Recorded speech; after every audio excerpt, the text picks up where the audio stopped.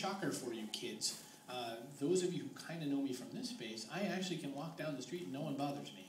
Uh, I can go to, I can stand up at a Panera Bread and go, "Do you know who I am?" say a loud, weird asshole. Sit down. Uh, so it's not because I'm Chris Brogan. I mean, believe me, there's things you don't want to do because I do have a media presence and I can bring the noise.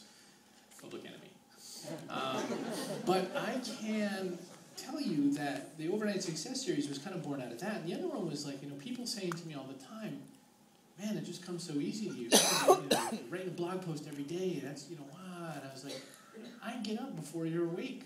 I'm up most nights before you go to bed. I'm working while you're playing Farmville.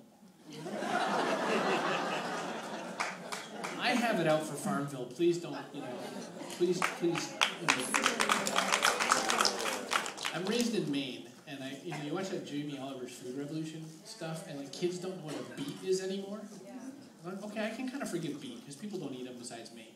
But when they don't know what a tomato is, and yet they play Farmville, we're all gonna die. we're all gonna die. There's an apocalypse coming, and we're all gonna be like, I don't know. I keep shaking the computer, and beets aren't coming out. My kid the other day, my four-year-old, was playing on the